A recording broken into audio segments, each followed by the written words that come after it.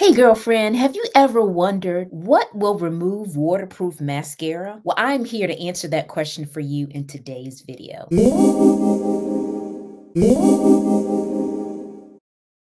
Hi, my name is Inga Fay, and I am a beauty enthusiast. In today's video, I'm going to share with you one of the biggest unknown uses for waterproof mascara. You may not have even thought that you could do this, but you'll definitely find out what that is today. I also will give you six ideal situations on when waterproof mascara is the mascara for you. And last but definitely not least, I will tell you a product that will remove waterproof mascara with ease. You'll never have to worry about taking it off again. Let's do this, shall we? Well, the biggest unknown use for waterproof mascara is that it can be used as a top coat for your mascara. And you may be thinking a top coat. Well, just think about nail polish. We have a base coat that helps your nail polish stay on your nails.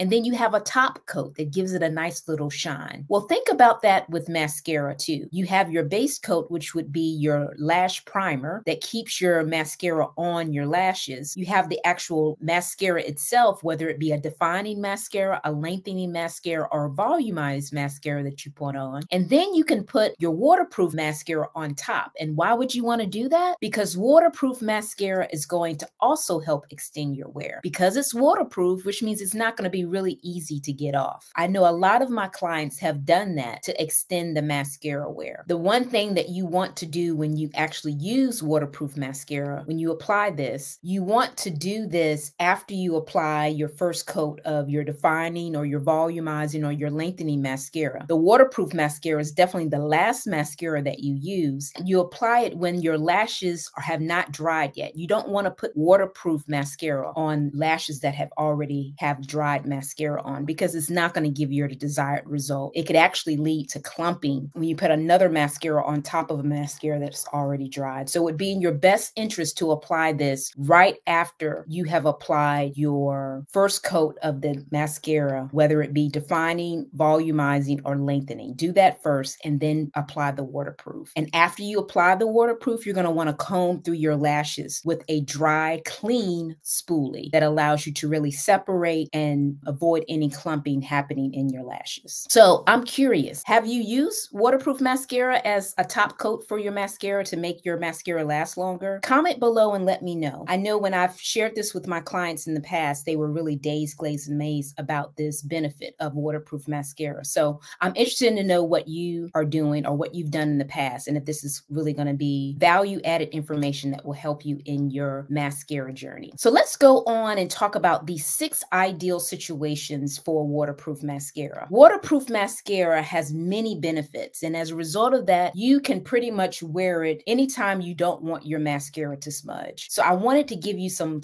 real life scenarios that waterproof mascara would be your go to. So, say you are working out, you're going to the gym, and you don't want to look like you have raccoon eyes during your workout. Waterproof mascara will help your mascara not smudge when you're working out. I have actually used waterproof mascara when I was running a 5K with my six year old son. And when I came out, I came out just as gorgeous as I was when I left the house because I had on waterproof mascara as well as a Chromafusion eyeshadow that has 12 hours of wear and is sweat proof. When you have a mascara as well as an eyeshadow that is sweat proof, you can still look cute when you work out. This will definitely be a time when you would want to have a waterproof mascara. When you work out, which means it would be lifting weights, doing some kind of aerobics class, or even running a 5K. Another great time for waterproof mascara is when you're on vacation. Say you're in some exotic island where you're on the beach, right there with the salt water, and you're having fun splashing in the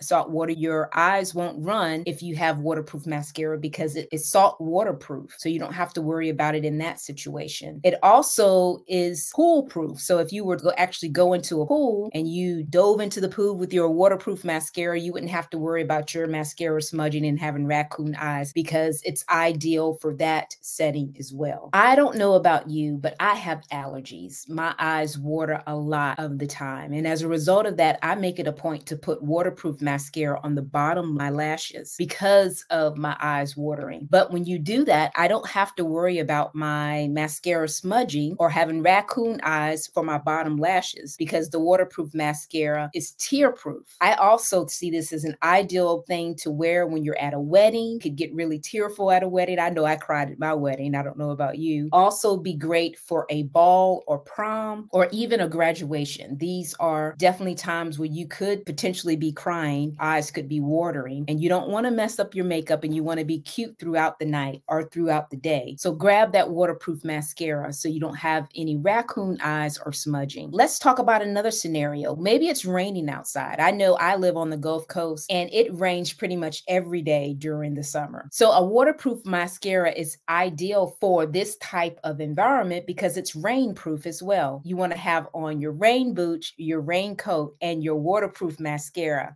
to get you through a rainy day on the Gulf Coast. And then last but definitely not least, say you are in somewhere that has very high humidity.